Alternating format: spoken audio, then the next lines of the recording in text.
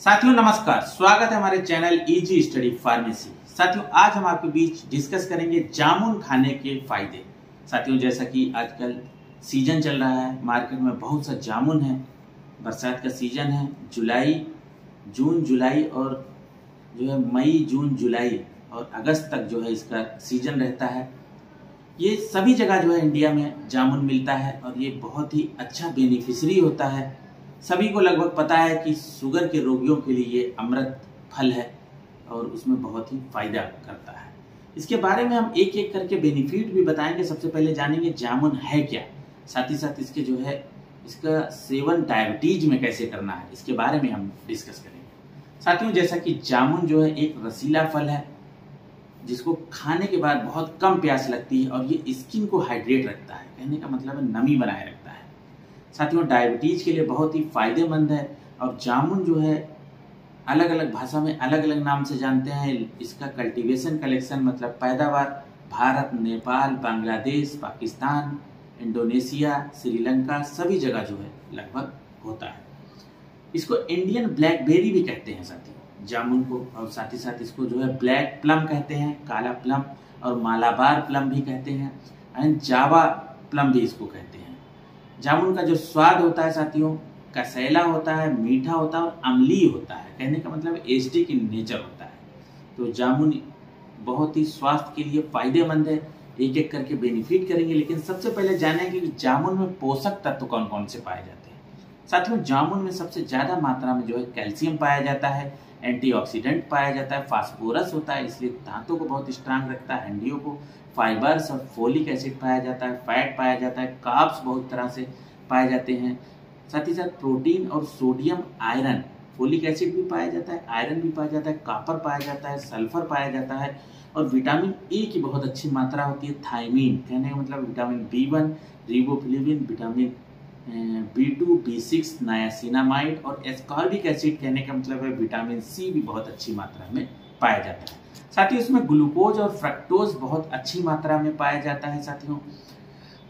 ये क्या है कि डायबिटीज़ के लिए तो अमृत है, साथ ही साथ खनिज की मात्रा इसमें बहुत ज़्यादा होती है।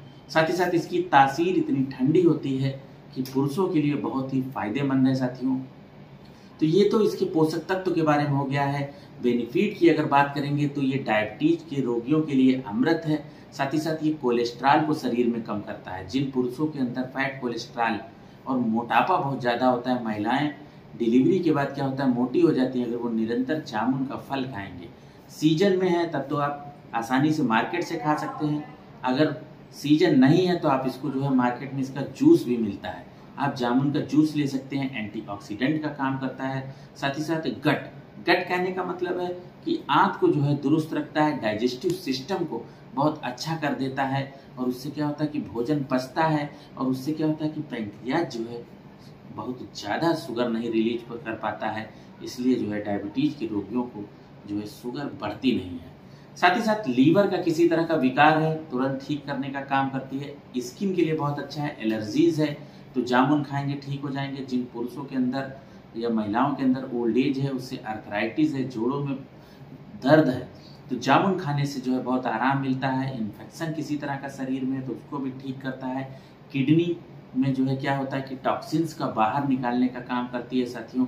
और महिला या पुरुष कोई भी हो जिनके हीमोग्लोबिन बहुत कम रहता है तो ये हीमोग्लोबिन बढ़ाने का काम करता है। साथ ही साथ बच्चों को, बड़ों को ब्रेन शार्प करने का भी काम करता है जामुन। साथियों डाइजेस्टिव सिस्टम को तो बहुत अच्छा रखता है, साथ ही साथ टीथ कहने का मतलब है दांत है, क्योंकि इसमें फास्फोरस की मात्रा बहुत ज़्यादा होती है मैग्नीशियम की मात्रा होती है तो दांत और मसूड़ों को बहुत चमकदार रखता है गम्स को स्ट्रांग करता है। हार्ट को हेल्दी रखता है ब्लड प्रेशर को मेंटेन रहता है, रखता है, जिनका बीपी हाई रहता है, उनके लिए बहुत अच्छा है कि ब्लड प्रेशर को मेंटेन रखता है। साथियों एक और चीज़ मैंने बताई थी वीडियो के शुरू में कि शुगर के रोगियों में सेवन कैसे करना चाहिए। साथियों, इसमें क्या होता है कि जैम्बोलिन और जैम्बोसिन नामक दो ऐसे एल्कोलाइट पाए जाते हैं, जिससे क्या होता है कि शुगर के रोगियों के लिए अमृत कहा गया है और शुगर शरीर में बढ़ता नहीं है, क्योंकि ये डाइजेस्टिव सिस्टम को इतना बढ़िया कर देता है कि भोजन तुरंत पच जाता है और उससे क्या होता है कि शुगर नहीं शरीर में बढ़ता है। साथियों शुगर रोगी इसको जो है पाउडर फार्म में भी ले सकते हैं कि जामुन खाने के बाद उसके जो सीड्स हैं उनको रख लें और सुखा लें, उसके बाद उसको जो है पीस के एक चम्मच सुबह शाम जो है अगर लेंगे तो बहुत अच्छा रहेगा। तो इसके पाउडर फार्म में भी ले सकते हैं सीड का सेवन कर सकते हैं फ्रूट का सेवन कर सकते हैं, साथ ही साथ इसकी लीव का भी सेवन बहुत जगह पे किया जाता है। बहुत सी मेडिसिन हैं जो जामुन से बनती हैं साथियों। तो ये तो आज हमने साथियों जामुन के फ़ायदे के बारे में डिस्कस किया है। वीडियो कैसा लगा है हमें ज़रूर बताइएगा, साथ ही साथ हमारे चैनल को ज़रूर सब्सक्राइब करें। नमस्कार।